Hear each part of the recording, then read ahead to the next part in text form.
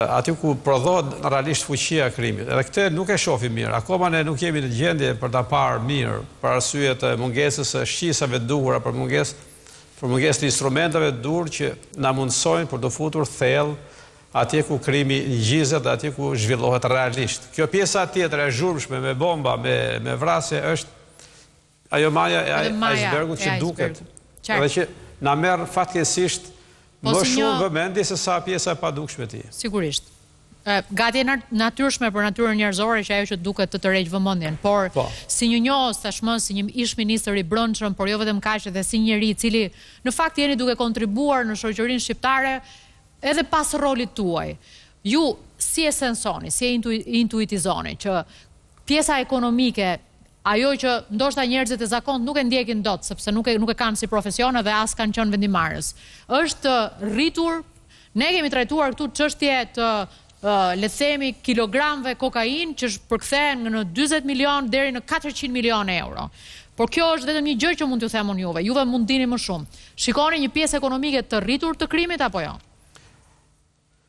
U thashë që të gjithë se mund të shprehim opinione lidhur me përmasat e kësaj përmasës ekonomike financiare të krimit për arsye të mungesës së kapaciteteve për të parë realisht dhe për të matur, është është fakt që në përgjithësisht institucionet tona ligjzbatuese, edhe vetë policia, ka patur dhe vazhdon të ketë mangësi të forta, të shumta në në këtë drejtim.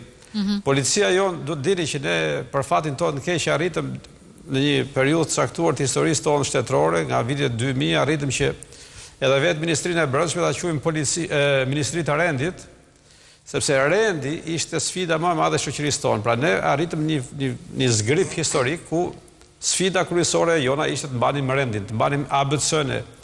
Dhe për rrjedhojë dhe policia jonë është zhvilluar dhe ka krijuar kapacitete të shumta në fushën e rendit, Ndërkohë që këto fusha të tjera që sapo përmenda, sidomos fushën ekonomike financiare e ka pa e ka të pazhvilluar, e ka në trajtë embrionale akoma, ndërkohë që në në kohën ku jemi, jo vetëm ne, por në përgjithësi zhvillimi i sotëm botëror kërkon që kërkon një tjetë, një, një kapacitet tjetër, kërkon një polici krejtësisht ndryshe nga kjo që shohim sot.